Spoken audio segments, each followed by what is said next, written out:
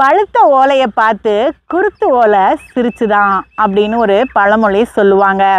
பழுத்த ஓலை அப்படின்னும் போது அது வயசாகிறதுனால நாள் ஆகிறதுனால ஒரு பச்சையாக இருக்கிற ஓலை பழுத்ததா பழுப்பு நிறமாக மாறிடும் இதை பார்த்து புதுசாக வர்ற குருத்து ஓலை சிரிச்சுதான். நம்மளும் சில நேரத்தில் இப்படி தான் நடந்துக்கிறோம்.